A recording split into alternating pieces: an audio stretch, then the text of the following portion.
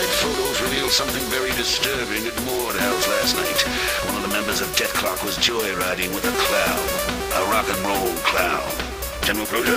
His name is Dr. Rockso. He's the rock and roll clown. He does cocaine.